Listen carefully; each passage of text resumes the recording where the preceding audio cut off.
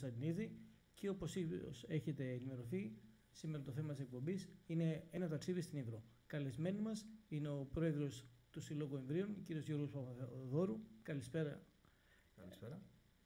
Και η κυρία Ελένη Απίστελνα, αντιπρόεδρος ε, ΓΑΜΑ Κοινωνικής Πολιτικής και Πολιτισμού. Καλησπέρα σας. Καλησπέρα. Χαίρομαι ιδιαίτερα που ξανά φίλοι και γνωστοί από χρόνια είμαστε εδώ για να ε, κάνουμε ένα ωραίο ταξίδι στο όμορφο νησί της Ήμβρου. Θα ήθελα κύριε Πεφεδόρου να πούμε δύο λόγια για το νησί, πώς μπορεί κανείς να βρεθεί στο νησί και τι, τι μπορεί να δει τις μορφιές του νησιού. Είναι ένα νησί του βορειοανατολικού Αιγαίου. Ουσιαστικά είμαστε κοντά μεταξύ Σαμοθράκης στα βόρειά μας και δυτικά, νότιο-δυτικά είναι η Λίμνος. Και είμαστε βέβαια και δίπλα στα Δαρδανέλια και αυτός ήταν και ο λόγος που το 1923 η Ήμβρος έχει παραχωρηθεί στην Τουρκία που σημαίνει ότι αυτή τη στιγμή η Ήμβρος είναι στα κυριαρχικά δικαιώματα της Τουρκίας. Η Ήμβρος κατά βάση πάντα ανά τους αιώνες ήταν ελληνικότατο νησί. Μέχρι το 1923 ήταν σχεδόν 100% Έλληνες πέραν κάποιων αξιωματούχων ε, Τούρκων. Κάτι το οποίο συνεχίστηκε και μετά το 23 και ουσιαστικά μέχρι το 1950 ήταν απόλυτα ελληνικό. Ο πληθυσμός ήταν γύρω στις 9.000 και είχαμε 7 χωριά. Γι' αυτό και λέμε και η Ήμβρος με τα 7 χωριά σου. Ουσιαστικά που είναι 7 τα ελληνικά χωριά. Και μιλώντας και για τα χωριά μας στην ουσία ξεκινάμε από την πρωτεύουσα την Παναγιά και έχουμε ένα κάμπο που, είναι, που μάλιστα παλιά η Ήμβρος ήταν, ανήκει και στη συμμαχία την Αθηναϊκή και εξού πολλά πράγματα που βρίσκω όπως και το σήμα του συλλόγου μας ουσιαστικά είναι η κουκουβάγια που ήταν από την Αθήνα που έχει βρεθεί στην Ήμβρο αυτό το νόμισμα. Και έχουμε λοιπόν τον κάμπο που το διασχίζει ένας ποταμός που είναι ο Ηλισσός όπως ακριβώς και στην Αθήνα ο Ηλισσός έτσι ακριβώς είναι και το κεντρικό ποτάμι της Ήμβρου ο Ηλισσός που είναι εκείνη η μεγάλη πεδιάδα και γύρω γύρω από την πεδιάδα υπάρχουν ουσιαστικά τα πέντε από τα 7 χωριά ξεκινώντας από το κάστρο που ήταν όπως το ακούτε το κάστρο υπήρχε κάστρο πραγματικά που στους αιώνες εκεί κρυβόντουσαν και οι άνθρωποι γιατί υπήρχε το πρόβλημα με τους κουρσάρους και είναι και το πλέον... Όπως ε, φαντάζομαι σε όλα τα νησιά διαχρονικά εκείνης της περίοδου. Μα είναι το κάστρο το οποίο βρίσκεται στα βορειοανατολικά της Σύμβρου και είναι ο πύργος που βρίσκεται στα νοτιοδυτικά της Σύμβρου κυριολεκτικά. Μάλιστα. Εξού από τη μια κάστρο και από την άλλη πύργος γιατί ήταν το πρόβλημα πάντα με τους κουρσάρους και εξού και τα χωριά μας όλα είναι κρυμμένα μέσα στα βουνά για να μην είναι προσβάσιμα από τους κουρσάρους. Απλά λίγο πολύ σε όλο το Αιγαίο το ίδιο συνέβαινε. Βέβαια σταδιακά στο Αιγαίο κατεβήκαν όλοι στις θάλασσες και στα, στις παραλίες. Εμείς λόγω του ότι η Ήβρος από το 23 δεν ήταν στην ελληνική κυριαρχία δυστυχώς δεν έγινε το ίδιο. Μετά το κάστρο λοιπόν υπάρχει ένα κοντινό χωριό το οποίο λέγεται και το μπαλκόνι της Σύμβρου που είναι το γλυκί που η θέα είναι υπέροχη γιατί απέναντι αγναντεύεις ουσιαστικά τη Σαμοθράκη με το Σάος. Να πούμε πολλούς χαιρετισμούς στους συμπατριώτες σας που είναι ακόμη στο νησί. Βεβαίως. Όπως και στις κυρίες του Συλλόγου που δεν ξεχνώ ότι σε άλλη εκπομπή μας έχουν συμπεριστεί πολύ ωραία με τα ωραία ενδέσματα που μας έχουν στείλει. Λοιπόν, το Γλυκί είναι πολύ κοντά στο κάστρο. Μετά συνεχίζει που είναι η πρωτεύουσα η Παναγιά. Αυτή ήταν η πρωτεύουσα της Σύμβρου και το πολυπληθέστερο χωριό, Κομόπολη όπως το πούμε. Δίπλα στην Παναγιά υπήρχε το Ευλάμπιο που ήταν πολύ κοντά, που πλέον βέβαια έχουν ενωθεί η Παναγιά με το Ευλάμπιο. Και μετά στην άλλη πλευρά του κάμπου απέναντι είναι ουσιαστικά οι Άγιοι Θεόδωροι. Ουσιαστικά αυτά είναι τα πέντε χωριά που το ένα βλέπει το άλλο και όπου και να πας, από τη μια θα δεις και το άλλο. Λίγο πιο μέσα είναι το πιο ορεινό χωριό της Σύμβρου, το οποίο είναι πάνω στον Άγιο Δημήτριο και απέναντι από τον προφήτη Ηλία που είναι και το ψηλότερο βουνό, που είναι τα Γρίδια. Και μετά είναι το Σχοινούδι, το οποίο βρίσκεται αρκετά πιο μακριά και ουσιαστικά το Σχοινούδι ήταν, κάποτε λέγανε ότι ήταν το μεγαλύτερο χωριό της Τουρκίας, το οποίο πλησίαζε τους 3.000 κατοίκους. Ε. Και βέβαια ήταν το σχοινούδι με τον πύργο όπως προείπαμε, το, που ο πύργος ήταν αν θέλετε οι παραθεριστικές καλοκαιρινές κατοικίες των σχοινουδιωτών, το οποίο δυστυχώς το 1965 ήταν το μόνο χωριό, οικισμός μάλλον, δεν ήταν χωριό ο πύργος, οικισμός ήταν, είχε 40 σπίτια. Και μάλιστα ήταν το μόνο χωριό που απολωτριώθηκε εξ ολοκλήρου από το κράτος. Και το 1965 αναγκαστήκαν όλοι όσοι μέναν εκεί να φύγουν, να αφήσουν τα σπίτια τους. Γκρεμιστήκαν αυτά τα σπίτια εκτός από ένα και ακόμα και η εκκλησία που υπήρχε η Αγία Άννα που γιόρταζε το καλοκαίρι όμως, της Αγίας Άννης του καλοκαιριού, τότε γιόρταζε, Δυστυχώς και αυτή καταδαφίστηκε. Και στην ουσία από όλα αυτά τα σπίτια γίνανε δύο και το, αυτό κατελήφθη ουσιαστικά από το Υπουργείο Δικαιοσύνης Τουρκίας, το οποίο το κάνανε τουριστικό θέρετρο για τους δικαστικούς. Βέβαια τώρα η Τουρκία έχει βγάλει ένα.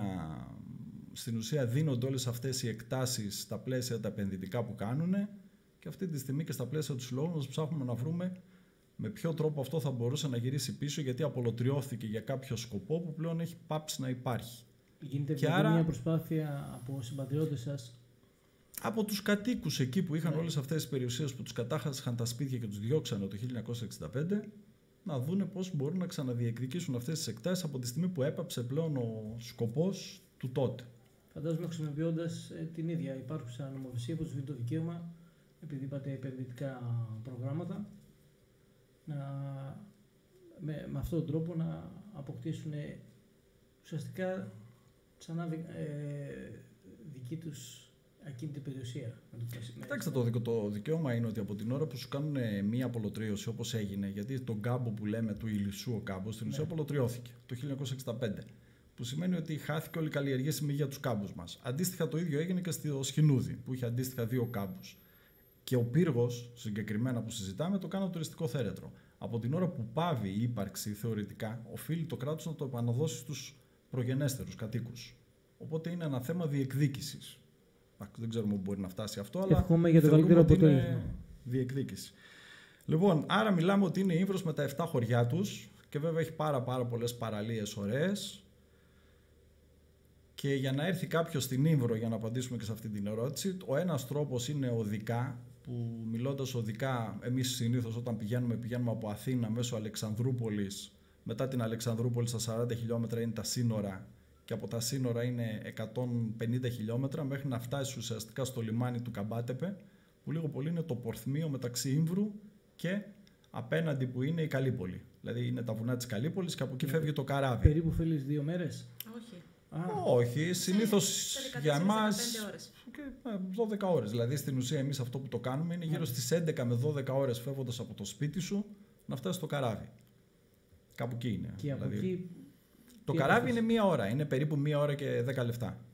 Και έχεις φτάσει στην Ήβρο. Και φτάνοντας βέβαια στην Ήβρο, αν κάποιος πάει, το καλύτερο θα ήταν να βρει τρόπους ή να επικοινωνήσει και με το δικό μας το σύλλογο για να τους βοηθήσουμε. Προφανώς το πιο ωραίο είναι να μείνει στα ελληνικά χωριά. Να κάνουμε μια γρήγορη παρένθεση. Πού βρίσκεται σήμερα ο σύλλογος, Να υπενθυμίσουμε περισσότερο. Πού βρίσκεται ο σύλλογος μα, ναι. η έδρα του. Βρίσκεται στη Νέα Σμήνη, Ελευθερίου Βενιζέλου 80. Μάλιστα. Εκείνη η καρδιά μας ουσιαστικά εν Αθήνας. Αντίστοιχα βέβαια υπάρχει και ο σύλλογος της Θεσσαλονίκης. Και λοιπόν αυτό που έλεγα ότι όποιος έρθει, ένας τρόπος είναι αυτός. Άλλος τρόπος είναι το να έρθεις μέσω Κωνσταντινούπολης αεροπορικός, που σημαίνει όμως θα πας Αλεξανδρούπολη και μετά πρέπει να κατέβεις είτε να νοικιάσεις αυτοκίνητο από το αεροδρόμιο, να πας πάλι στο Καμπάτε που είναι γύρω στις 3 ώρες για να φτάσεις εκεί ε, είτε να πας με το λεωφορείο που υπάρχει, γιατί υπάρχει λεωφορείο που φεύγει από την Κωνσταντινούπολη και πάει κατευθείαν στην Ήμβρο, οπότε φτάνεις κατευθείαν στην Παναγιά, που είναι η πρωτεύουσα της Ήμβρου. Άλλος τρόπος είναι να πας μέσω Αλεξανδρούπολη και από την Αλεξανδρούπολη υπάρχουν ταξί που και μέσω του συλλόγου μας μπορούμε να σας βοηθήσουμε να πάρετε ταξί και να πάτε στην Ήμβρο. Και αν θέλετε είναι και το πιο γρήγορο, γιατί ξεκινάς από το σπίτι σου το πρωί και το μεσημέρι έχεις φτάσει στην Ήμβρο. Μία ώρα είναι μέχρι Αλεξανδρούπολη και μετά μία μισή ώρα είναι για να φτάσουμε ουσιαστικά στο λιμάνι από το αεροδρόμιο της Καλύπολης. Βέβαια, παλιά υπήρχαν και άλλες εναλλακτικές που τώρα λόγω κορονοϊού έχουν περιοριστεί, που ήταν μέσα από το, τη Μυτιλίνη, ε, μέσα από τη Λέσβο ουσιαστικά και από το ναι. λιμάνι της Μυτιλίνης. Καθημερινά υπήρχαν δρομολόγια που πήγαιναν στο Αϊβαλί, στις Κιδονίες. Άρα μπορούσες κάλλιστα να πας από τις Κιδονίες και να περάσεις από εκεί πέρα αντίστροφα τώρα από τα Δαρδανέλια να έρθεις από τον κάτω δρόμο και βέβαια και πιο παλιά πολλοί ερχόντουσαν και από μέχρι και από Ρόδο. Έφτανες που πέρναγες Χίο, Ρόδο, Τσεσμέ όλα αυτά που υπήρχαν τα ελληνικά νησιά μας με τα... Υπήρχε καθημερινά καραβάκια. Αυτό είναι το πώς πάμε. Τώρα, το τι θα δούμε εκεί πέρα λοιπόν υπάρχουν πάρα πολλά όμορφα μέρη που μπορείτε να πάτε. Ξεκινώντας από τα χωριά, προχωρώντας στις παραλίες που υπάρχουν κάμιες πάρα πολύ μεγάλες παραλίες όπως είναι στα νότια που είναι ο Κέφαλος, που που είναι η παραλία του Λιμένα που είναι τεράστια και μάλιστα εκεί στο Λιμένα υπάρχει και το λαθρέο λιμανάκι, κατσάκ λιμανέ το λένε στα τουρκικά. Αλλά εκεί στην ουσία γινόταν όλο το λαθρεμπόριο μεταξύ Ήβρου και Λίμνου μέχρι το 1966 που άρχισαν να δυσκολεύουν οι, οι καταστάσεις. Αλλά από το 1923 μέχρι το 1966 υπήρχαν κάποιοι δικοί μας που μέσα από αυτό το λιμάνι πηγαίνανε καθημερινά στη Λίμνο και κάνανε ανταλλαγή προϊόντων, στην ουσία λαθρέα μεν, αλλά πλήρη ανταλλαγή των προϊόντων με τη Λίμνο. Και, και εκεί είναι πάρα πολύ ωραία μέρη. Υπάρχουν πολλές παραλίες και από εκεί και πέρα, βέβαια, υπάρχουν πλέον και αρχαία που έχουν αρχίσει να έρχονται στην επιφάνεια. Παρόλο που οι ύμβρο δεν έχουν γίνει ανασκαφές, τελευταία έχουν αρχίσει και κάνουν ανασκαφές και μάλιστα έχουν βρει και κάποιους οικισμούς που είναι για χιλιάδες χρόνια που υπήρχαν. Και σίγουρα υπάρχουν πάρα πολλά αρχαία, απλά όλη αυτή η ιστορία του 23 στην ουσία έχουν κρυφτεί όλα. Γιατί υπάρχει μια τάση που δεν θέλουν να τα δείχνουν, και θέλουν.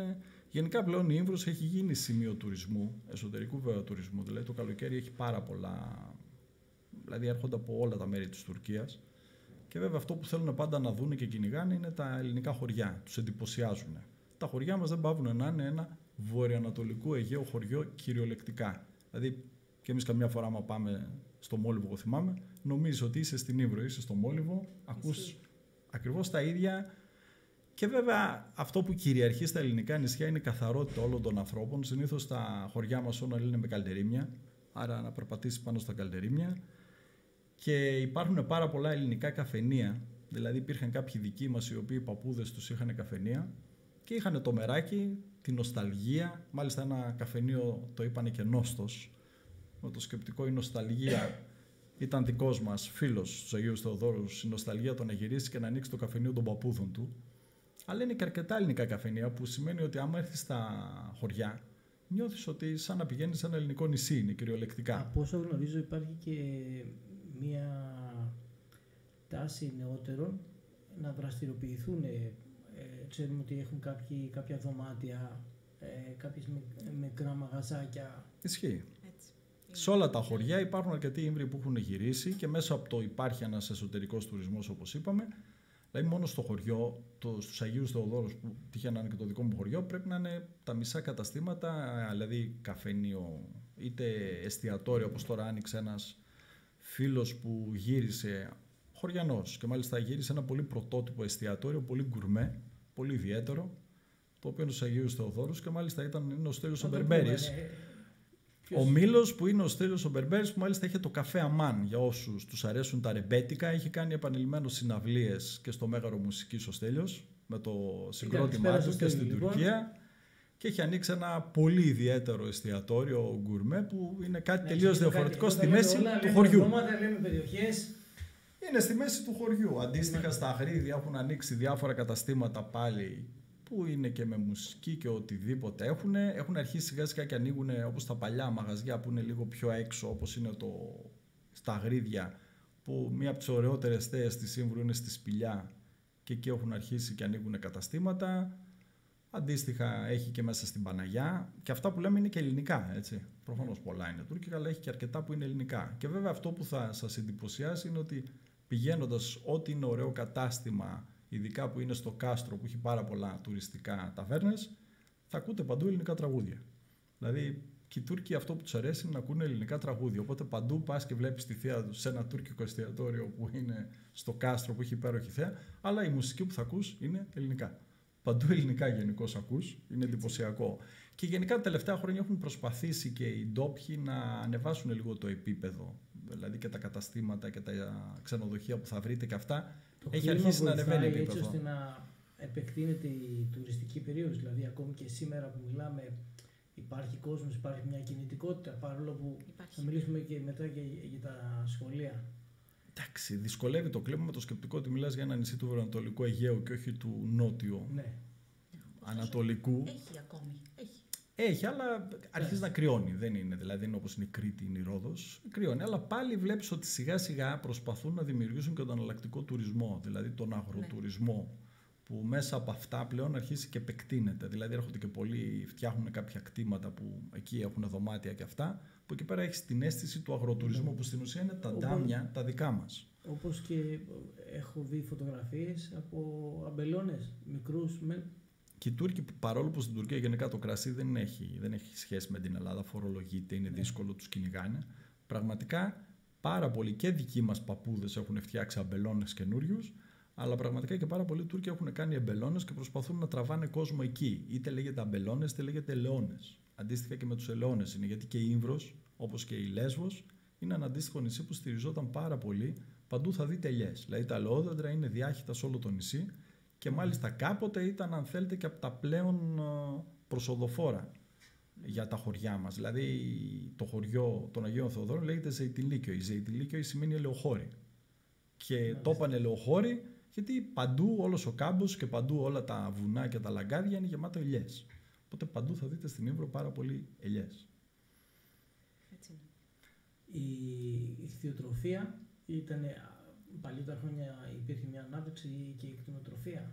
Κοιτάξτε, Ε, παλιά όσο ήταν οι Έλληνες και πριν Ναι. το, μιλάμε πάντα πριν το 64, Ναι, αυτό εννοώ. Ήταν πολύ αναπτυγμένη ουσιαστικά η γεωργία, η κτηνοτροφία, η αλία και η σπογκοαλία.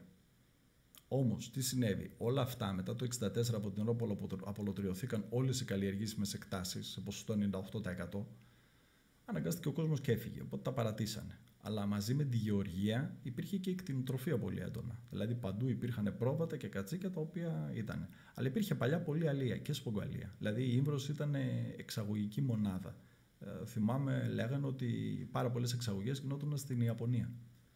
Δηλαδή τα μαζεύανε όπως και στην Κάλυμνα αντίστοιχα, δηλαδή φτάνανε μέχρι τη Λιβύη, δηλαδή τα καΐκια φεύγαν από την Ήμβρο, φτάναν μέχρι την α, Λιβύη, αλλά μπαίνανε και μέσα στα Δαρδανέλια και μαζεύανε σφουγγάρια και τελικά αυτά τα σφουγγάρια τα εξάγανε μέχρι την Ιαπωνία. Και βέβαια πάντα λέγανε ότι όλα τα σπογκαλιευτικά μέχρι της Παναγίας ήταν πίσω στην Ήμβρο. Δηλαδή το τέρμα ήταν πάντα της Παναγίας το 15 Αύγουστο. Όλοι έπρεπε να είναι στην Ήμβρο για να γιορτάζουν όλοι μαζί. Μεγάλη γιορτή για Έτσι το νησί. στην Ήμβρο. Τώρα βέβαια η Ήμβρος πραγματικά εκεί που νομίζαμε ότι έφθινε πάρα πολύ και είχαν μείνει ηλικιωμένοι από τότε που ανοίξαν τα σχολεία ξεκινώντας με το 2013 που ήταν το δημοτικό σχολείο και το 2015 άνοιξε το γυμνάσιο και το λύκειο και μετά το 2017 ακολούθησε και το νήπιο με τα προνήπια Πέρασε τόσο καιρός, ε. Πέρασε. ναι και πλέον έχουμε φτάσει να είμαστε κοντά στους 60 μαθητές πλέον Ω, είναι ένας μεγάλη καλός προσπάθεια. αριθμός Μεγάλη, ναι, ναι. Και βέβαια μέσα σ- με αυτά και με αυτά όμως από εκεί που ο πληθυσμός είχε συγκλίνει να έπεφτει, είχε πέσει από τα 300 άτομα, τώρα πλέον ο μόνιμος πληθυσμός είναι γύρω στα 600 άτομα το χειμώνα και μην ξεχνάμε ότι μόνο μάνι μάνι 60 είναι παιδιά των σχολείων. Συν μάλιστα και κάποια παιδιά που ευτυχώς πλέον από το 13 και μετά γεννιούνται Ιμβριοτόπουλα στην Ήμβρο, στον τόπο τους από Ήμβριους γονείς και αυτό είναι και το πιο ευχάριστο και ήδη αυτά τα παιδάκια βρίσκονται στα σχολεία. Γεννηθήκανε, πήγαν νήπιο, προνήπιο, δημοτικά και ετοιμάζονται τώρα κάποια από αυτά να πάνε και στο Να πούμε γυμνάσιο. συγχαρητήρια στους πρωτεύσαντες αλλά και στους ε, νέους που μπήκαν στα ελληνικά αλλά και στα τουρκικά πανεπιστήμια. Ναι, πράγματι. Και μάλιστα χθες βγήκανε και τα αποτελέσματα. Γιατί διάβασα, Η Ελένη πριν νομίζω έρθουμε, τα ξέρει δι- καλύτερα. διάβασα ένα, Ε, σχετική ανακοι- μια σχετική ανακοίνωση. Ε, σχεδόν όλα τα παιδιά περάσανε, αν όχι στην πρώτη, στη δεύτερη επιλογή τους σε ελληνικά πανεπιστήμια. Αθήνα, Θεσσαλονίκη, Πανεπιστήμιο Αιγαίου, ε, Εθνικό Καποδιστριακό Αθηνών, ε, Θεσσαλονίκης. Και είναι πάρα πολύ ευχαριστημένα. Συγχαρητήρια στα παιδιά, συγχαρητήρια στους εκπαιδευτικούς. Ε, χίλια μπράβο. Ανταμείφθηκαν οι κόποι τους Και στους γονείς βέβαια. και στους γονείς εννοείται και όλοι πέτυχαν το στόχο τους. Και μπράβο και στην κοινότητα για αυτή την προσπάθεια. Εγώ θυμάμαι όταν ε, άνοιγε το σχολείο με λίγα παιδάκια υπήρχε η αγωνία τι θα συμβεί την επόμενη χρονιά ή την επόμενη μέρα επειδή ε, εγώ θα πω από την πλευρά μου νιώθω ε, μέλος αυτής της όμορφης οικογένειας και παρέας που με έχει αγκαλιάσει πολλά χρόνια Είμαστε και ευχαριστώ γι' αυτό. Όμως θα κάνω μια γρήγορη παρένθεση να πω ένα μεγάλο ευχαριστώ ε, για τα δώρα σας. Έχουμε εδώ ένα έντυπο ε, ενημερωτικό για τον ε, νησί της Ιμβρού και το Σύλλογο Ιμβρίων και το Σύλλογο Ιμβρίων. για τις δράσεις του Τι κτλ. μας έχετε φέρει εδώ; Ε, αυτό είναι ένα παραδοσιακό CD με παραδοσιακούς σκοπούς και τραγούδια της Ήμβρου. Ε, πολλά από τα οποία θα ακούσουμε και στις 9 Οκτωβρίου στο πλαίσιο των Ιωνικών Γιορτών που συμμετέχει ο Σύλλογος Εμβρίου. Ε, για το τι πρόκειται να συμβεί. Μετά, νομίζω από εκεί βγήκε το ομώνυμο τραγούδι Ήμβρος με τα 7 χωριά. Όχι, αυτό είναι Αυτό εδώ ε. είναι μια μεγάλη προσπάθεια που γινόταν χρόνια. Με...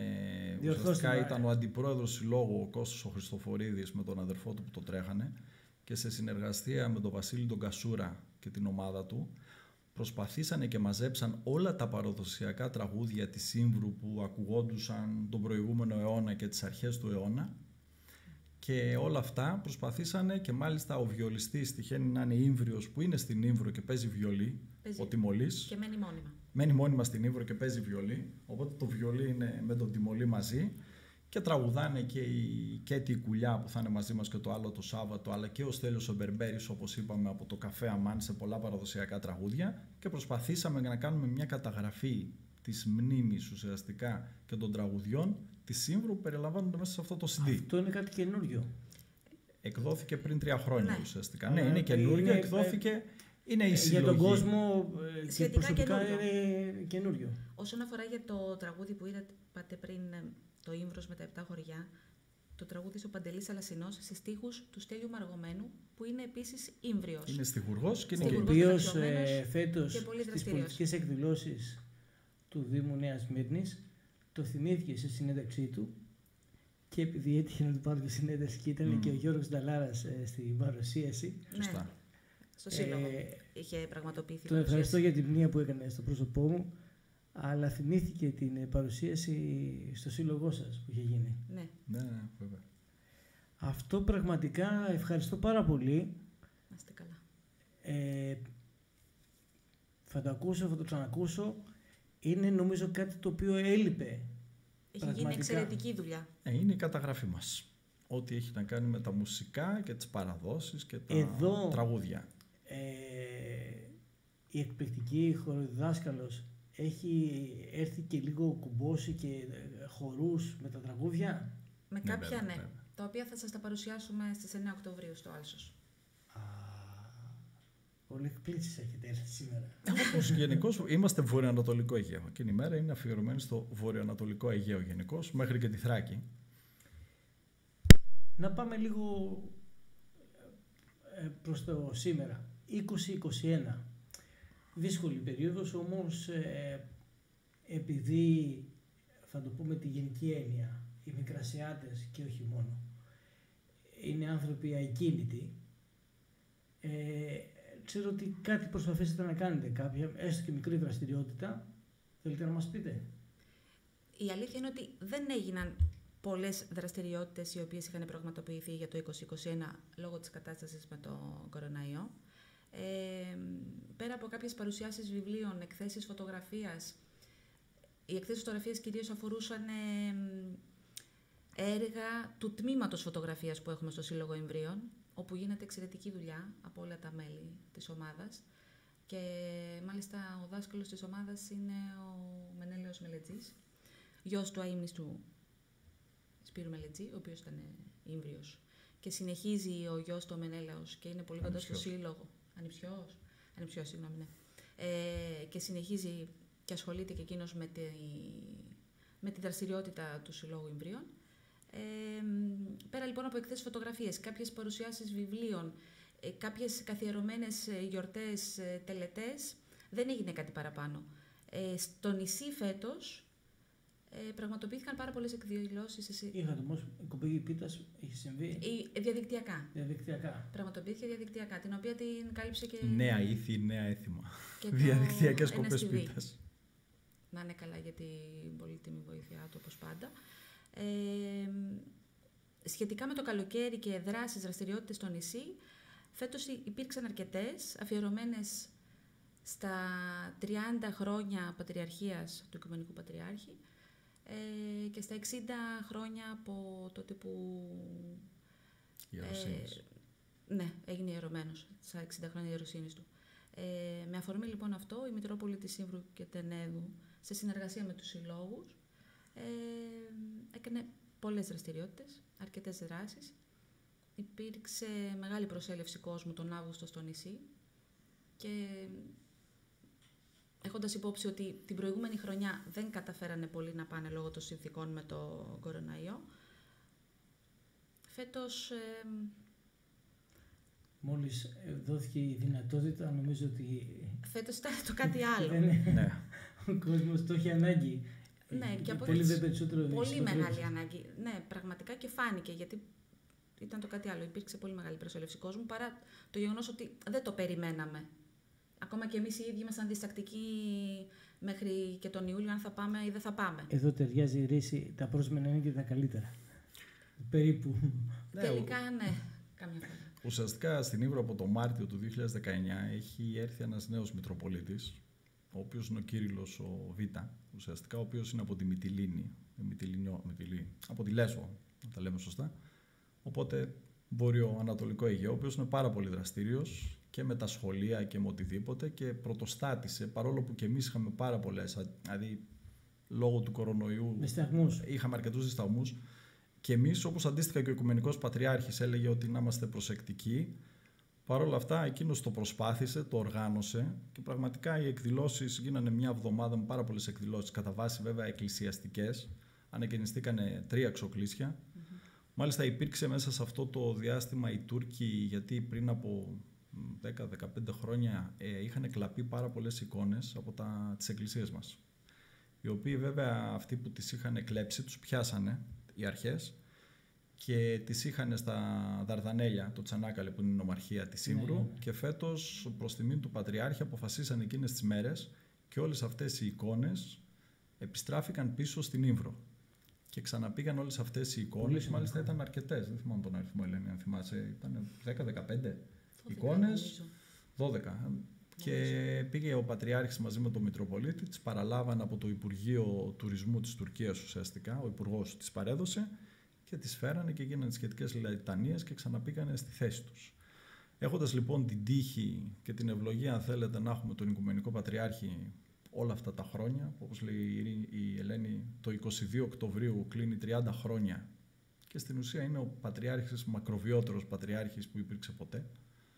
Και ταυτόχρονα φέτος έτυχε να κλείνει και τα 60 χρόνια της Ιεροσύνης, 13 α, ο- Αυγούστου που έβαλε το Ράσο ουσιαστικά, γιατί εκείνη τη μέρα έβαλε το Ράσο. Γίνανε αυτές οι εκδηλώσεις και αποκορύφωμα αν θέλετε των εκδηλώσεων έγινε μάλιστα και συναυλία στο, στη Σπηλιά που σας λέω που είναι ένα από τα πιο όμορφα μέρη της Σύμβρου γιατί η Σπηλιά ήταν ένας, υπήρχε ένας τεράστιος πλάτανος και πολλές βρύσες εκεί. Εκεί λοιπόν η παράδοση έλεγε ότι μετά το 15 Αύγουστο, την επόμενη μέρα, το μεσημέρι, μαζευόντουσαν όλοι και χορεύανε στη Σπηλιά. Πράγματι λοιπόν η συναυλία έγινε, βέβαια έγινε στις 13, τρεις μέρες νωρίτερα, έγινε εκεί. Είχαμε τη χαρά να έχουμε τη, από, τη, Μητ- ε, από τη Μητρόπολη Νεαπόλεως και Σταυροπόλεως Θεσσαλονίκης που έρχονται τακτικά. Ε, είναι η χοροδία της ε, Κασιανής που μας έχει προσφέρει. Γενικά λειτουργούν έντεχνο εκείνοι και μάλιστα φέτος είχαν μαζί τους και την Τιλέκη Κότς που η Τιλέκη Κότς είναι μια τραπουδίστρια α, στη Θεσσαλονίκη μένει, καταγωγής από Τουρκία αλλά παντρεμένη με Έλληνα, αγαπάει τη Θεσσαλονίκη, μένει στη Θεσσαλονίκη και είχε έρθει και μαζί της και είχε γίνει πάλι μια εκπληκτική συναυλία προς τιμήν του Εξαιρετικά. Πατριάρχη που ήταν ένα μαγικό βράδυ για όλους και ο τόπος και ο χώρος, σας είπα, ήταν κάτω από τον Πλάτανο ουσιαστικά και ήταν κάτι πάρα πολύ ωραίο για όλους τους Σύμβριους και όσους μας επισκεφτήκαν εκείνες τις μέρες. Ε, Και ήταν πραγματικά οι εκδηλώσεις ήταν ε, πάρα πολλές και το καλό είναι ότι και με τα σχολεία, με όλη αυτή τη δραστηριότητα που γίνεται, είναι κοντά στα σχολεία και ο Μητροπολίτης πραγματικά. Οπότε και στους αγιασμούς, μάλιστα χθες κοίταγα που είχε πάει και είχε φάει μαζί με όλα τα παιδιά. Δηλαδή είχαν μαζευτεί όλο το γυμνάσιο και το λύκειο, που γενικά στην Τουρκία το, το σύστημα είναι ότι το μεσημέρι τρώνε τα παιδιά Ναι, ναι, ναι. και τρώνε στο σχολείο γιατί δεν τελειώνουν τα, στις 2 η ώρα, τελειώνουν το απόγευμα, οπότε υπάρχει ένα διάλειμμα μιας ώρας. Τα παιδιά λοιπόν μαζεύονται στο χώρο της εκκλησίας που είναι το παλιό σχολείο και εκεί τρώνε και χθες μάλιστα είχε πάει ο Μητροπολίτης να φάει μαζί με όλα με τα παιδιά, να τα πούνε. Εντάξει, είναι ωραίες στιγμές και από την ώρα που σου είπαμε είναι πολλά τα παιδιά, είναι πραγματικά πολύ ελπιδοφόρο. Δηλαδή πηγαίνεις, Τι μήνυματα παίρνετε από τη νεολαία του νησιού; ελπίδας, συγκίνησης. Ε, πολλοί ντόπιοι κάτοικοι που μένουν μόνιμα στο νησί και κυρίως ε, στο χωριό όπου στεγάζεται το ελληνικό λύκειο, γυμνάσιο, γυμνάσιο λύκειο, ε, περιγράφουν τη, τη σκηνή που βλέπουν τα παιδιά να πηγαίνουν στο σχολείο και να επιστρέφουν από το σχολείο και γεμίζει ζωντάνια ε, όλο το χωριό. Κάτι που είχαν να το δουν δεκαετίες. Και ειδικά αυτό το θυμούνται οι πολύ παλιοί, οι Ναι. μεγάλες ηλικίας άνθρωποι που έχουν παραμείνει και όταν το περιγράφουν πραγματικά μόνο συγκίνηση μπορεί να νιώσει κανείς. Ελπίδα ότι κάτι καλύτερο θα γίνει τελικά και πραγματικά εγώ ανήκω σε μια γενιά παιδιών που γεννήθηκα στην Ήβρο. Γεννήθηκα τη δεκαετία του 70. Ε, εγώ λοιπόν και κάποια παιδιά που γεννηθήκαμε τη συγκεκριμένη δεκαετία αναγκαστήκαμε να φύγουμε με τους γονείς μας γιατί δεν υπήρχε ελληνικό σχολείο στο νησί. Και τότε, όταν οι γονείς μας, καθώς και άλλοι γονείς παιδιών σαν και εμένα, φεύγαν από το νησί, δεν πίστευαν ποτέ ότι θα επιστρέψουν ξανά. Ε, και όμως, επέστρεψαν, επιστρέψαμε κι εμείς, πηγαίνουμε τα καλοκαίρια και ξανά άνοιξαν τα σχολεία. Και ξαναγέμισε το νησί νέα παιδιά, μικρά παιδιά. Όπως είπε και ο Γιώργος, γεννιούνται πλέον παιδιά από δικούς μας Ιμβρίους και Ιμβρίες στο νησί που έχουν εγκατασταθεί εκεί. Είναι το Κάτι πιο το οποίο θετικό μήνυμα. πραγματικά είναι, είναι πάρα πολύ, τι να πω, συγκινητικό, ελπιδοφόρο και είναι κάτι που θα φάνταζε αδιανόητο και απίστευτο πριν 10 χρόνια. Βέβαια. Εγώ θυμάμαι τον παππού μου, τους παππούδες μου μάλλον, ε, γιατί και οι δύο οι παππούδες και οι δύο οι γιαγιάδες είναι από την Ήμβρο, ήταν από την Ήμβρο, τους θυμάμαι μικροί να συζητάνε και να λένε ότι μ, θα φύγουν οι νέοι, δεν θα ξαναγυρίσουν, θα πεθάνουμε εμείς, δεν θα υπάρχει κανείς στο τέλος στο νησί. Κι όμως δεν γίνεται αυτό πια. Επέστρεψαν πάρα πολλοί νέοι, ε, ξεκίνησαν να εργάζονται, πήγαν τα παιδιά τους στο σχολείο, κάνουν οικογένειες εκεί, δημιουργούν οικογένειες και παραμένουν. Ρωτήστε. Μου έρχεται έτσι αυτόματα να πω ότι ο σπόρος που είχαν ε, ε, ρίξει οι παλαιότεροι έπιασε τόπο, άνθησε και φαίνεται τώρα, ε, φαίνονται οι καρποί. Ναι. Ναι, μα και αυτό που λέει η Ελένη είναι συγκλονιστικό. Υπάρχει και ένα βίντεο, μάλιστα, είναι και στο κανάλι του Συλλόγου Ιμβρίων, που είναι τα ελληνικά μειονοτικά σχολεία. Που υπάρχει ένα βιντεάκι, όπως λέει, που είναι ο Μπαρμπαγιώργος. Ο Μπαρμπαγιώργος είναι ηλικίας 80 ετών, ο οποίος ήταν στην πόλη, γύρισε, δραστηριοποιήθηκε στην Ήβρο και ζούσε πάρα πολλά χρόνια στο χωριό, στα Γρίδια συγκεκριμένα, που είναι το γυμνάσιο και το Λύκειο. Και μάλιστα ένα, έχει ένα συγκλονιστικό βιντεάκι που περιγράφει το ότι κάθε μέρα πέρναγα έξω από το σχολείο που ήταν διαλυμένα, σπασμένα τα πάντα και έκλαιε, η, η καρδιά τους σπάραζε κυριολεκτικά έτσι. Και ξαφνικά τώρα είναι πλέον τα σχολεία, είναι τα παιδιά που ξαφνικά σε αυτού τα, τα καλτερίμια που λέμε που πλέον μόνο κατσίκες και πρόβατα κυκλοφορούσαν από νέα σχετικώς ξαφνικά τώρα βλέπεις ότι σε αυτούς τους δρόμους τρέχουν και φωνάζουν παιδιά. Και βέβαια αποκορύφωμα είναι, που είχα την τύχη να βρεθώ, είναι τα Χριστούγεννα.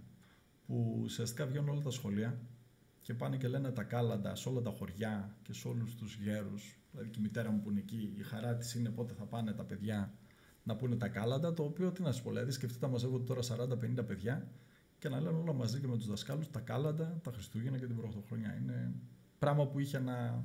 Δηλαδή πριν το 15-16 νομίζω ότι από το 64 και πέρα δεν ξέρω αν τους ξαναέτυχε να το ζήσει αυτό το πράγμα. Και ειδικά για τους μεγάλους τους ανθρώπους είναι κάτι που δηλαδή, έλεγες ότι τελειώσαμε. Και ξαφνικά βλέπεις παιδιά που να, φωνά, να μιλάνε ελληνικά και να τρέχουν στους δρόμους και να Δίνει και παίζουν. κίνητρο και για άλλους συμπατριώτες να το ξανασκεφτούν να επιστρέψουν όμως. Α, α, Το αυτό σκέφτονται ακριβώς πολύ Το, αυτό το πλέον. γεγονός, ναι. Το σκέφτονται πολύ πλέον. Εντάξει, εκεί υπάρχει βέβαια ένα θέμα το οποίο προσπαθούμε να το επιλύσουμε, αλλά εκεί οφείλει και η Τουρκία να βοηθήσει. Είναι ότι το ότι ο κόσμος έφυγε, έφυγε γιατί δεν είχε ούτε τα κτήματά του, ούτε, τα, ούτε οι ανάχοι κτήματα, τα, απο- απαγορευτήκαν τα πάντα. Που σημαίνει ότι με κάποιο τρόπο αυτά πρέπει να γυρίσουν, δηλαδή για να υπάρχει η οικονομική δραστηριότητα, για να, Να ρωτήσω επιβιώσουν κάτι οι άλλοι. οικονομικής ε, φύσεως. Είχαν αρκετοί κάποιους τίτλους στα χέρια τους ή αμφισβητηθήκανε. Όχι. Ή... Κοιτάξτε να δείτε, όταν γίνανε οι Γιατί έχω ακούσει και απολωτριώσεις... κάποιες ιστορίες καταπάτησης. Υπάρχουν όλα. Αλλά το ότι έγινε η Όχι παντού, απολωτρίωση. αλλά σε κάποιες ε, σημεία έχω ακούσει τέτοιο θέμα. Ναι, απλά είναι, το ένα είναι ότι γίνανε οι απολωτριώσεις. Οι απολωτριώσεις γίνανε για σε συγκεκριμένα άτομα με συγκεκριμένους τίτλους και συγκεκριμένες λίστες. Δηλαδή, όλοι οι κάμποι που λέμε, και τουλάχιστον οι κάμποι που ήταν από την πλευρά που λέμε ο Μεγά Κάμπος, που είναι στον Ηλισσόντο ποταμό, εκεί υπήρχαν παντού τίτλοι. Και είναι επώνυμα, δηλαδή υπάρχουν πιανών, ήταν και τι ήταν τα χωράφια. Τώρα, η αλήθεια είναι ότι η άλλη πλευρά, το Σχοινούδι, επειδή ήταν πάντα μακριά από το κέντρο, εκεί οι τίτλοι ήταν λίγο πιο δύσκολοι. Αυτό που λέτε εσείς είναι κάτι διαφορετικό. Τι, τι έχει συμβεί. Στην Ήβρο, πέρα τι απολωτριώσει που γίνανε το 1964, κάποια στιγμή η Τουρκία εφάρμοσε το κτηματολόγιο. Όταν λοιπόν πήγε να εφαρμοστεί το κτηματολόγιο, ειδικά στα χωριά που ο κόσμος είχε φύγει και τα είχαν παρατήσει και είναι αυτό που λέει η Ελένη, πολύ είναι αυτό που λέμε με τα πουλιά. Φεύγεις όταν το κυνηγείς ένα πουλί από τη φωλιά του, δεν ξαναγυρνάει. Πάρα πολλοί φύγαν δικοί μας, ειδικά αυτοί που πήγαν στην Αυστραλία. Και φύγαν δύσκολα οι άνθρωποι, γιατί ανάλογα ποιο χωριό ήσουν, ήταν διαφορετικός ο τρόπος που φύγες. Δηλαδή, υπήρχαν ναι. χωριά που ο κόσμος έφυγε σχετικά ήπια. Υπήρχαν χωριά όπως το μεγαλύτερο χωριό που λέμε το Σχοινούδι, που ο κόσμος δεν έφυγε ήπια. Όταν σε αυτούς φτιάξανε τις, παρόλο που τους πήραν τις εκτάσεις, οι άνθρωποι πήγαν στην ουσία στις παρυφές των βουνών. Είχαν όμως και τα κτήματά τους και ζούσαν. Όταν όμως εκεί δίπλα φτιαχτήκαν οι ανοιχτές φυλακές, που υπήρχαν κάποιοι Σοβίτες οι οποίοι με τις κίτρινες φόρμες γυρνάγανε κάθε βράδυ και πήγαινε ο άλλος που είχε τον τάμι του, γιατί ο κόσμος μετά τον, όταν ερχόταν η άνοιξη φεύγαν από τα χωριά, γιατί οι αποστάσεις ήταν δύσκολες, δεν υπήρχαν τα αυτοκίνητα τότε. Ναι. Ήθελες δύο ώρες με τα ζώα. Δύο ώρες με τα ζώα δεν είναι απόσταση. Λοιπόν, τι γινότανε. Πηγαίναν οι άνθρωποι και μένανε στα ντάμια τους. Ντάμια είναι αγρικίες που λέμε. Μένανε σε αγρικίες. Συνήθως είναι απομονωμένα. Ήταν 10-20 μασεμένες, κάπως έτσι πηγαίνανε. Πηγαίναν λοιπόν αυτοί με τις κίτρινες φόρμες και στην ουσία λίγο πολύ τι απειλούσαν. Ότι αύριο δεν ξέρεις αν θα ξανάρθεις και μπορεί να μην ξανάρθεις. Γίνανε κάποιοι βιασμοί, γίνανε κάποιοι φόνοι, κάποια τσακωμοί. Πολλοί φύγανε και αμφιβάλλω αν μαζέψαν, ούτε το σπίτι τους δεν μαζέψανε. Φύγανε και πήγαν Αυστραλία. Αυτοί δεν ξαναγυρίσαν. Και δυστυχώς πάρα πολλοί δεν έχουν γυρίσει. Όταν έγινε τέλος πάντων το κατάστρο, πρώτα απ' όλα ξεκίνησε από την Παναγία και στην Παναγία δεν δεχόντουσαν ούτε τους τίτλους. Δηλαδή υπήρχαν Έλληνες που είχαν τίτλους και παρόλα αυτά δεν τους δεχόντουσαν ειδικά στο πρώτο χωριό. Αποτέλεσμα όλα αυτά ήταν πολλά έχουν γραφτεί στο κράτος. Επειδή δεν, μπορούσαν, δεν ήταν εκεί άνθρωποι. Δεν πήγαν να αποδείξουν ότι ήταν δικά τους. Μεγάλο ποσοστό, ειδικά μιλώντας για τα πιο απομακρυσμένα χωριά, έχουν πάει στο κράτος. Και το θέμα είναι ότι όταν υπάρχει κτηματολόγιο, όπως το κτηματολόγιο που είναι για εδώ, ναι, ναι. όταν παρέλθουν 10 έτη και δεν διεκδικήσεις, δεν μπορείς να τα διεκδικήσεις. Δηλαδή και νομικά ακόμα είναι ένα βουνό για να το διεκδικήσεις και βέβαια όταν δεν είσαι και εκεί γίνεται αδύνατο. Εκεί λοιπόν πράγματι γίνανε, επειδή φύγανε από εκεί ο κόσμος, μαζευτήκανε κάποιοι, γιατί στην Ήβρο στην ουσία αυτούς που φέρανε έπικοι ήρθανε. Και πέρα από επίκους ήρθανε και πολλοί που ακούγανε πηγαίνετε εκεί να βρείτε σπίτια, άρα όποιος άκουγε εκεί σου λέει πάμε εκεί να πάρουμε σπίτια. Και μην ξεχνάμε ότι το 1974 με την εισβολή στην Κύπρο, στο κάστρο που λέμε, στην ουσία εκεί μπήκανε Κούρδοι.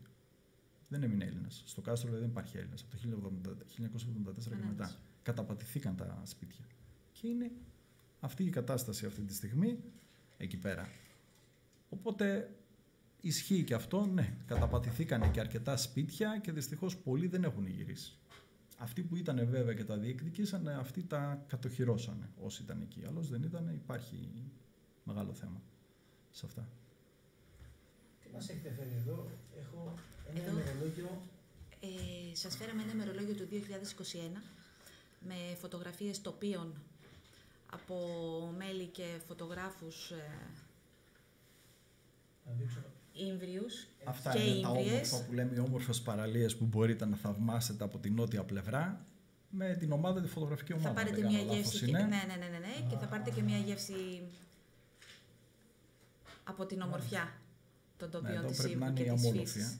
Έχουμε ναι. και αμόλοφους στην Ήβρο. Η μια πλευρά, η νότια, έχει αμόλοφους κυριολεκτικά που είναι. Υπάρχουν απίστευτες παραλίες. αμμουφερέ παραλίες. Πανέμορφες.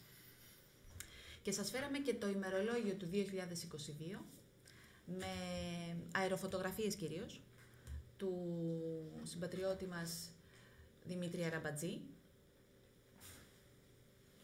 ο οποίος έχει τραβήξει Πότε προλάβατε. όλες αυτές τις φωτογραφίες.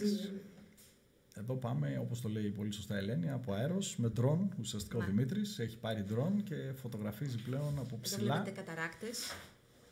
Έχουμε και καταράκτες. Καταράκτες, λίμνες, ας είναι και τεχνητές, ποτάμια, τρεχούμενα νερά, πίστευτα δάση. Οι οικισμοί μας οι παραδοσιακοί στα ελληνικά χωριά επίσης πανέμορφοι. Ναι, η Ήμβρος Πανέμορφες θεωρείται- παραλίες, παρθένες παραλίες, όσες μπορέσουμε να κρατήσουμε ακόμα, γιατί υπάρχει τόσο μεγάλη ανάπτυξη Εδώ που είναι. πλέον. Εδώ είναι το Ευλάβιο που λέμε ότι είναι κοντά στην Παναγιά. Ναι, Και είναι η εκκλησία του Το Ευλάβιο, Η Αγία Σωτήρος. Βαρβάρα. Παναγία, ε, ναι, όπου γιορτάζεται μ, Σωτήρος. τη Σωτήρος 6 Αυγούστου. Γίνεται Θεία Λειτουργία το πρωί και μετά μοιράζουν το πρώτο σταφύλι του καλοκαιριού. Το βράδυ συνήθως γίνεται πανηγύρι. Παλαιότερα γινόταν στα χωριά. Στο κάστρο Στο που είπαμε κάστρο ή και στον πάλι, Αγιοκήρυκο. εκεί ήταν το κεντρικό. Ε, τώρα εντάξει, έχουν αλλάξει λίγο τα πράγματα. Ωστόσο, όσοι πηγαίνουν το καλοκαίρι δικοί μας, συμπατριώτες μας, προσπαθούν και μ, διατηρούν το έθιμο με χορούς και τραγούδια και φαγητό. Εδώ είναι, Η πλατεία των Αγριδίων Με τον Πλάτανο. με τον πλάτη. γιατί αν δείξω αγρίδια κάποιοι δεν θα μου ξαναμιλήσουν. Εγώ είμαι μισή Αγριδιανή. Η μαμά μου είναι από τα Αγριδιά.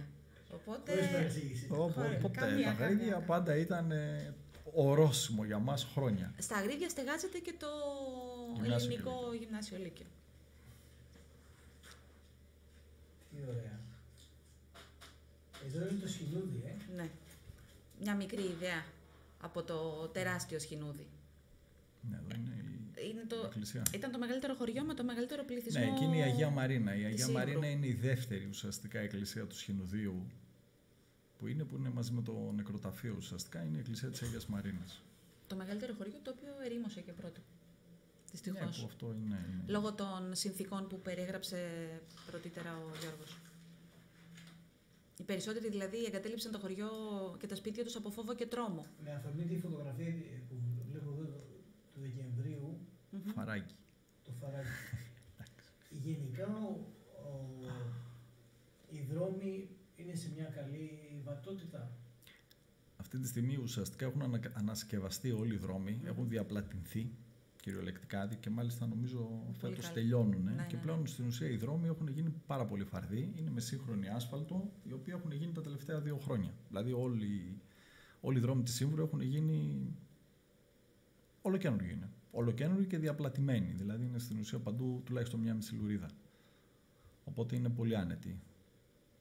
Τουλάχιστον η κεντρική έτσι. Ναι, είναι σε πολύ καλή κατάσταση και ειδικά οι καινούργοι δεν έχουν να ζηλέψουν σε τίποτα. Επίσης, να πω ένα άλλο στοιχείο που ξέρω, ότι τα τελευταία χρόνια υπάρχει μεγάλη βιβλιογραφία για το νησί. Βεβαίως. Φάιλο τουλάχιστον τα τελευταία 3-5 χρόνια πάρα πολύ. Ε, είπατε κιόλας ε, πα- από παρουσίαση βιβλίων. Σωστό. Ε, αν θυμάμαι καλά, περίπου το 17-18 υπήρχε μια τέτοια εντός αγωγικών, επιτρέψτε μου για την κουβέντα, ε, παραγωγή βιβλιογραφίας Ισχύει, ναι. Που είχα μείνει άφωνος. Λέω, ξαφνικά ε, ενέπνευσε ε, συμπατριώτες και ήταν Κοιτάξτε, μεγάλη... τα σχολεία, Ισχύει. όπως και να το κάνεις, είναι εφαλτήριο για πολλά πράγματα. Δηλαδή μόνο το ότι, δηλαδή και εμείς, νομίζω με την, με την Ελένη ήμασταν το 15, δηλαδή το 15 στα εγγένεια των σχολείων του γυμνασίου και του λυκείου, εντάξει, τι να σου πω, από τη συγκίνηση ρέγγισαν καρδιές, κυριολεκτικά όμως. Όλο αυτό έχει δημιουργήσει μια δυναμική, αν θέλετε, σε όλο το, τους Ιμβρίους και προσπαθούμε, πρώτα απ' όλα αυτό προσπαθούμε να έχουμε την καταγραφή της μνήμης σε κάθε επίπεδο. Δηλαδή, είτε λέγεται η μουσική που κρατάτε, είτε λέγεται το βιβλίο του Μάκη του Μπουτάρη «Η εκπαίδευση στην Ήβρο» που περιγράφει ουσιαστικά από το 1800 Τα την φιλιά και την εκπαίδευση αγάπη στο στην Μάκη. Ύβρο. Ευχαριστώ. Ναι, Το λευκό είτε μαγικός. τα λευκόματα, Για τη είτε που λαογραφία μας, έχουν με τα λαογραφική ξοκλήσια και όλες τις εκκλησίες που μάλιστα, μια που είπατε, περιμένουμε πότε με το καλό θα ανοίξει, γιατί έχει γίνει μια εκπληκτική δουλειά από την κυρία Τζέννη Χαλκιά ουσιαστικά, η οποία ήταν και στο Μουσείο Μπενάκη κάποια στιγμή, όχι, στο, Στο Βυζαντινό Βυζαντινό, Μουσείο. ήταν η διευθύντρια του τη Βυζαντινού Μουσείου διευθύντρια στην Αθήνα. και έχει κάνει μια φοβερή δουλειά και έχει καταγράψει όλες τις εκκλησίες της Σύμβρου και τις εικόνες που υπήρχαν. Και υπάρχει το βιβλίο, είχε εκδοθεί Ναι. από το καλοκαίρι, Απλά και δεν έχουμε περιμένουμε προλάβει να το πώς και παρουσιάσουμε πώς ακόμα λόγω να συνθήκων. το παρουσιάσουμε. Ανοίγει ο σύλλογος. Ο σύλλογος έχει ήδη ανοίξει. Μας έδωσε το κράτος το, πρώτο- ε, το πράσινο φως υπό προποθέσει. Ανοίγει ο σύλλογος. Έχει ήδη ανοίξει ο σύλλογος. Αύριο θα ξεκινήσουν και οι πρώτες δραστηριότητες στα πρώτα μας χορευτικά τμήματα. Ε, μ, έχουμε τμήματα παιδικά, εφήβων, κυριών. Υπάρχουν ε, τμήματα εκμάθησης τουρκικών. Ε, και θα δούμε στην πορεία τι άλλο μπορούμε να κάνουμε. Το κοιτάμε σιγά σιγά Βήμα, βήμα. ε, λόγω της δέσμευσης που υπάρχουν ε, για τα μέτρα ασφαλείας και προστασίας ε, με τη Εγώ από συνθήκη πλευράς του μου θα COVID. πω ότι τα τελευταία χρόνια η Νέα Σμύρνη σας έχει αγκαλιάσει και όχι μόνο. Πολλοί φίλοι του συλλόγου Να είστε καλά. Ε, θα φέρω ένα παράδειγμα. Ε, με αφορμή το δευτέριο που υπάρχει μέσα στο σύλλογο, έχει τύχει να έρθω με γνωστούς και φίλους να πιούμε ένα καφέ ή ένα ουζάκι και μετά με έχουν πάρει τηλέφωνο, εμείς ξαναπήγαμε. Ε, και όχι μόνο αυτό, αλλά ξέρεις, πήγαμε και στη γραμματεία να μάθουμε αν έχει κάποια εκδήλωση. Άνθρωποι οι οποίοι είναι από διαφορετικές περιοχές, από διαφορετικές ε, ακόμη περιοχές της Ελλάδος. Ναι, Έχω γνωστό που είναι από τον επαγγελματικό μου χώρο, γι' αυτό ήθελα περισσότερο να κάνω μια αναφορά στην αρχή για το πώς μπορεί κανείς να φτάσει στο νησί, που με ρώταγε και με ξαναρώταγε και επαγγελματικά αλλά και γιατί ήθελε να γνωρίσει το νησί, πώς μπορεί να φτάσει. Έπαιρνε, και θα το πω το γεγονός γιατί το ξέρει η αγαπημένη η φίλη, την έπαιρνε τηλέφωνο δύο και τρεις φορές να τη ρωτήσει: Μπορώ να πάω τώρα; Του λέει: Όχι ακόμη, δεν είναι ο καιρός να δούμε λόγω συνθηκών. Ε, Στο σημείο να, αυτό να πω ότι το σύλλογό μας, εκτός από τους σύμβριους, τους συμπατριώτες μας που τον αγαπάνε και τον στηρίζουν, έχουμε και τους φίλους της Σύμβρου που δεν έχουν καμία σχέση με. δεν είναι κατάγονται από το νησί, ωστόσο συνεισφέρουν συμμετέχοντας στις δραστηριότητες του συλλόγου, Είναι μέλη του συλλόγου. Είναι Ως μέλη. φίλοι της Σύμβρου έχουν δικαίωμα να είναι μέλη του συλλόγου. συμμετέχουν στις εκδηλώσεις, στις δραστηριότητες, στις δράσεις, βοηθούν και να είναι καλά και τους ευχαριστούμε πάρα πολύ. Ε, και αυτό είναι πολύ σημαντικό. Γιατί Και βέβαια και για μας η Νέα Σμύρνη είναι πολύ σημαντικό γιατί Βέβαια. ουσιαστικά στη Νέα Σμύρνη είναι το κύριο σώμα των Ιμβρίων βρίσκεται στη Νέα Σμύρνη. Και γενικώς είναι Μεγάλη Νέα μερίδα του Σμύρνη, πληθυσμού. Παλιό Φάληρο, Ναι. Καλυθέα. Εκεί είμαστε. Αλλά το κέντρο είναι η Νέα Σμύρνη, είναι ο σύλλογός μας. Και όπως και να το κάνουμε, είναι και ε, το μέρος που ζούμε. Τα αγαπάμε και Εγώ θα προσπαθούμε πω από πάντα. καρδιάς μας λείψατε. να είστε καλά. Να είστε καλά. Γενικά η Νέα Σμύρνη για μας είναι δηλαδή όπου μπορούμε να συνεισφέρουμε. Καλά, και ο Δήμαρχος πάντα και οι Δήμαρχοι όλοι να είναι καλά, οι άνθρωποι είναι κοντά μας. Αλλά και εμείς πραγματικά στην Ήμβρο, ειδικά στα- στη Νέα Σμύρνη, στα πολιτιστικά και όπου μπορούμε να συνδράμουμε, είτε λέγονται σαν κοινωνία πολιτών ή με οποιοδήποτε τρόπο, είναι ο τόπος μας. Εδώ ζούμε. Άρα νομίζω ότι όλοι οι νεοσμυρνιώτες μας ενδιαφέρει πρωτίστως να η Νέα Σμύρνη να αναπτύσσεται θετικά και να είμαστε χαρούμενοι που ζούμε εδώ, έτσι. Βέβαια. Έχουμε συμμετοχή φέτος ε, στις πολιτικές εκδηλώσεις; Βεβαίως, έχουμε συμμετοχή στις Ιωνικές Γιορτές, όπως κάθε χρόνο, ε, στο πολιτιστικό φεστιβάλ που πραγματοποιείται. Ε, με τη βοήθεια του πολιτιστικού οργανισμού Δήμ- του Δήμου Νέας Μύρνης. Στις 9 Οκτωβρίου, λοιπόν, θα συμμετέχει ο Σύλλογος Συμβρίων Τι στο πρόκειται να Άλσος. δούμε.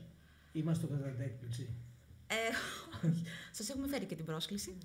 Ε, θα έχουμε το, το συγκρότημα... Το, Το θεατρικό το- πρώτα, Ε, με τους βε- φυγάδες. Α, ναι, ναι, ναι. Θα- Θα παρουσιάσουμε θεατρικό σκετσάκι σύντομο αυτή τη φορά, το οποίο έχει γράψει και έχει σκηνοθετήσει ο Νίκος Κιλός. Μάλλον ε, θα είναι κωμικό, από ό,τι, από ό,τι ξέρω. Αυτό είναι έκπληξη για μας. Ναι, ναι, ναι. Ε, τα τμήματα των χορευτικών μας θα παρουσιάσουν ε, ό,τι έχουν κάνει μέχρι τώρα. Παιδικό, εφηβικό, οι πιο νεαροί και το τμήμα των κυριών. Με χορούς της Σύμβρου και γενικότερα του βορειοανατολικού Αιγαίου. Και από εκεί και πέρα, ε, σε συνδυασμό με όλα αυτά, θα ακούσουμε πάρα πολύ ωραία τραγούδια και ωραίους σκοπούς και από την Ήβρο και από το CD που σας φέραμε. Ε, με τη Γκέτη Κουλιά, το κύριο Είναι ουσιαστικά το Κουβέτα. συγκρότημα οι μανερι... συγκρότημα. μανεριτζίδες. Ναι, ναι, Στο ναι. το λέω. Είναι και δύσκολο. Μανεριτζίδες. Στο συγκρότημα αυτό με Νεζίζο που Είναι ο Βασίλης ο τα μέλη είναι πάρα πολύ αξιόλογα. Κασούρας, που ουσιαστικά ό,τι έχει να κάνει με τη λαϊκή παράδοση ο Βασίλης πάντα είναι μπλεγμένος, που παίζει και λαούτο και ούτι. Συμμετέχει και στο CD. Είναι ο Γκουβέρντας, ο οποίος πρέπει να είναι ένα από τα καλύτερα βιολιά στην Ελλάδα, ό,τι έχει να κάνει με την παραδοσιακή μουσική. Θα έχουμε Σαντούρι, που ουσιαστικά λίγο πολύ αυτά ήταν και τα παραδοσιακά όργανα που πάντα, δηλαδή και εγώ μικρός που θυμάμαι, εγώ πρόλαβα γάμος στην Ήβρο, Είμαι λίγο παλαιότερος από την Ελένη, οπότε είχα τη χαρά να προλάβω και γάμους που πάντα πηγαίνανε την ύφη να την πάρουν με το λαούτο, με τα βιολιά, με τα λαούτα, με το σαντούρι. Σαντούρι. Που και το σαντούρι ήταν. Εγώ το σαντούρι το θυμάμαι πάρα πολύ έντονο στην Ήβρο. Και ε, ουσιαστικά Μα, αυτή είναι- ήταν η εικόνα λίγο Και πολύ. εδώ βλέπω μια πολύ ωραία εικόνα. Ε, βέβαια. Με Με τη- βιολιά και με σαντούρια είναι νομίζω το Κλασική βορειοανατολικό Αιγαίο παραδοσιακή κυριαρχεί. σκηνή. Από... Έτσι. Και πρέπει να είναι από γάμο ή βάφτιση. Σε, Ναι, ναι, σε ναι. τέτοιου είδους εκδήλωση. Οπότε θα έχουμε τη χαρά να ακούσουμε και εμβριώτικα και γενικώ, και όχι μόνο εμβριώτικα, βόρειο-ανατολικό Αιγαίο και Θράκη έντονα τα τραγούδια. Να ρωτήσω κάτι. Υπάρχει στην ε, το Πολυαλά επηρεα- ε, έχει επηρεαστεί από τη Λίμνο και τη Λέσβο; Ε, στην ουσία η Μοιάζουν. Λέσβο, δηλαδή η Αγιάσο συγκεκριμένα που αν θέλετε και στη Λέσβο αυτή τη στιγμή Μοιάζουν είναι πολύ. και το Είναι πιο σαν να είναι ορεινό ο χωριό. ίδιος λαός. Ε, Είναι στην ουσία Στην τοπιολαγιά. είναι- είναι, είμαστε επηρεασμένοι δηλαδή γλωσσολογικά. Γλωσσολογικά, ναι. Μα, Ουσιαστικά έχουμε πάρα πολλά κοινά ε, επί της ουσίας. Όπως κοινά είναι και με τη Θεσσαλία ουσιαστικά. Δηλαδή θυμάμαι σε κάποιο στο χωριό του ταιριάζουν πολύ. Τα οποία έρχονται από τους αρχαιαιώνες βέβαια. Έτσι, γιατί πάντα όπως είπαμε και η Ήμβρος, όπως και όλο το Αιγαίο ήταν ελληνικότατα νησιά. Έτσι, δεν... Βέβαια. Δηλαδή και τα παράλια, όλα τα παράλια, τα μικρασιατικά παράλια και μέχρι τελευταία, σχεδόν δεν κατοικούντουσαν από τότε που φύγανε οι Έλληνες από τα μικρασιατικά παράλια και μέχρι τελευταία που είχε αναπτυχθεί η Τουρκία. Δεν, δεν κατοικούντουσαν καν. Εκεί ήταν πάντα Έλληνες. Δηλαδή τα νησιά, η Καλύπολη, Κιδωνιέ, Μύρνες, τι να θυμηθούμε. Όλα τα παράλια, είτε από τον Πόντο πάνω, είτε όλα τα μικρασιατικά παράλια είναι, ο θυμάμαι, όπου και να πας, νιώθεις ότι είναι η Ελλάδα. Δηλαδή Ναι. Όντως. σε όλα τα μέρη, ακόμα και νότια αν πας, Τώρα- είναι απίστευτο. Ε, έτσι ευχάριστα να το πω, αλλά ε, κατά κάποιον τρόπο η ανάπτυξη ενός μέρους, ιδιαίτερα στα παράλια του τουρισμού από πλευράς της Τουρκίας, τι έχουν να δείξουν η ιστορία της Ελλάδος. Θέλουμε, Εντάξει, θέλουμε παντού εκεί, είναι δηλαδή. αρχαιοελληνικό, Ναι, όπως και είναι να το αρχαιοελληνικό. πιάσεις, ε, κυριολεκτικά. Μα και τα λιμανάκια, δηλαδή τα λιμανάκια όλα τα περισσότερα, όπως του Κάστρου που δυστυχώς καταστράφηκε στην Ήμβρο, του Μόλιβου, ήτανε, είναι αρχαία λιμάνια. Είναι όλα αρχαία λιμάνια. Η Αντάλια, αν πας κάτω, στην Αντάλια θυμάμαι που έχει τύχει να πάω, το λιμανάκι, νιώθεις ότι είναι, και είναι το αρχαιοελληνικό λιμανάκι. Δηλαδή όλα τους είναι τα αρχαιοελληνικά λίγο πολύ. Τα λιμανάκια, τα μικρά, τα παραδοσιακά μιλάμε έτσι, γιατί τώρα έχουν γίνει και εκεί τεράστιες μαρίνες, τα οποία βέβαια δεν έχουν καμία σχέση. Αλλά τα παραδοσιακά μικρά λιμανάκια το νιώθεις παντού, όπου και να πας.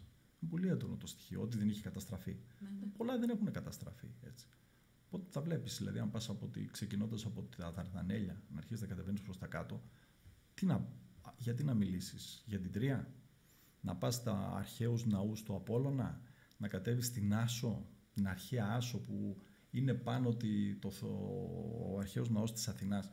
Η Άσος είναι ένα καταπληκτικό σημείο. Να κατέβεις πιο κάτω να πας στην Πέργαμο, στην Έφεσο.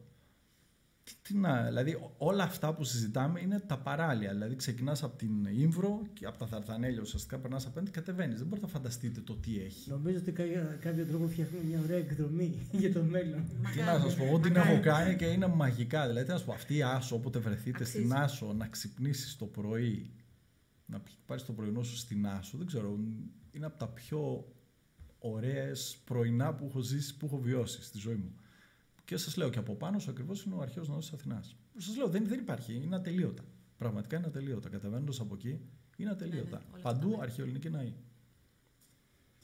Ναι, ξαναπούμε ε, τη συμμετοχή στις Ιωνικές Γιορτές. 9 Οκτωβρίου το βράδυ. Τι ώρα; Στις 8. Στις 8.30 8.30. 8.30. το Σάββατο. 8, 8 λέμε, θα για να πάμε, είμαστε θα, 8.30. θα πάμε εμείς. Εντάξει. Εμείς θα πάμε Σωστά νωρίτερα. το- Σωστά το είπε. Θα σας περιμένουμε με πολύ χαρά. Εγώ να πω ένα μεγάλο ευχαριστώ για τη συμμετοχή σας. Ξεκινάει ένας ωραίος ε, κύκλος ε, εκπομπών. Ε, η φιλοσοφία είναι το να ακούσουμε και τον απόδημο λογισμό από εδώ μέσω Skype, να κάνουμε αφιερώματα. Εύχομαι σε άλλη, φο- άλλη φορά να έχουμε και την νεολαία σας και να συνδεθούμε Ευχαρίστως. και με συμπατριώτες ε, στο εξωτερικό.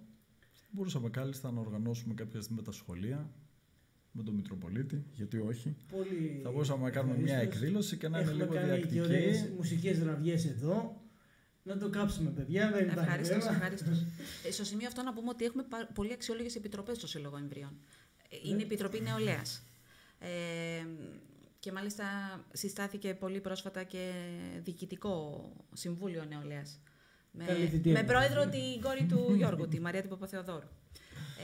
Ε, να πούμε λοιπόν συγχαρητήρια στην Επιτροπή Νεολαίας, να πούμε συγχαρητήρια στην Επιτροπή Πολιτισμού και Επικοινωνίας, να πούμε συγχαρητήρια μ, στην Επιτροπή Φωτογραφίας, στην ομάδα φωτογραφίας, στην Επιτροπή που ουσιαστικά υπάγεται στην Επιτροπή Πολιτισμού και Επικοινωνίας και να πούμε και ένα πολύ μεγάλο ευχαριστώ για το έργο της και τη δράση της και θερμά συγχαρητήρια στην Επιτροπή Κυριών του Συλλόγου Ιμβρίων, Βέβαια. η οποία εντάξει, κάνει ένα εξαιρετικό έργο όλα αυτά τα χρόνια. Ε, έχει συνεισφέρει πάρα πολύ στο κοινωνικό έργο του Συλλόγου και μ, γι' αυτό την Και αναφέρουμε. μέσω Της από τι αξίζουν πολλές αιμοδοσίε, ευχαριστήσεις. πάντα Ναι, κυνηγάνε ναι. τις αιμοδοσίες, γιατί έχουμε και την τράπεζα σε συνεργασία με το Δήμο Νέας Μήνης, βέβαια πάντα. Έχουμε τράπεζα αίματος ουσιαστικά που είναι για τους Ιμβρίου που βοηθάμε όσους έχουν ανάγκη. Και μέσα από την Επιτροπή υπάρχουν αρκετοί Ιμβροί που ουσιαστικά έχουν κάποια ανάγκη και προσπαθούμε με πολλούς πολλαπλούς τρόπους να Εγώ του θυμάμαι βοηθούμε με- και να με- τους με συμπαραστέκονται. αφορμή, Μου δίνετε μια πολύ ωραία πάσα που ίσως να μην φαίνεται αυτό που θα πω στην αρχή. Υπάρχει και μια πολύ ωραία ομάδα που αγαπάει τη θάλασσα.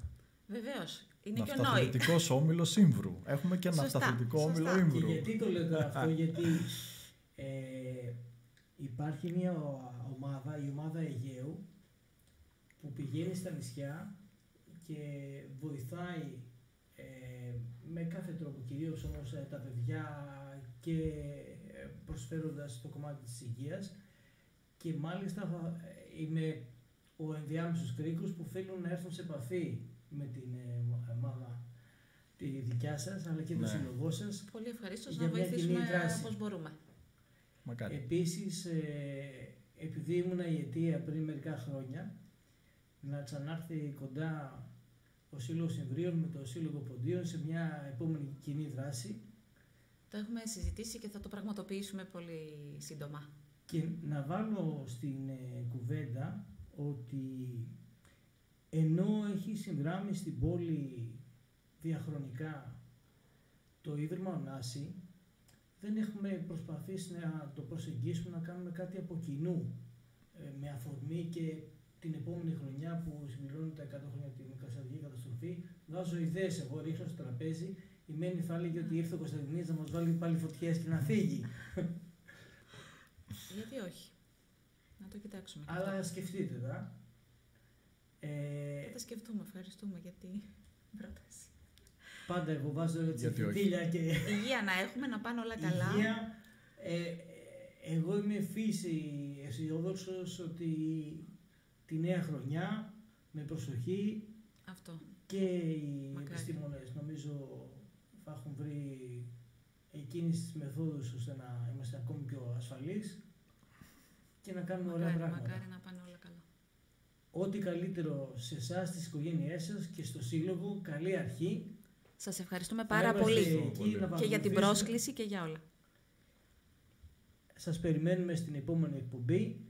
Το επόμενο θέμα θα είναι πολιτιστικός τουρισμός. Καλό βράδυ σε όλους. Καλό βράδυ.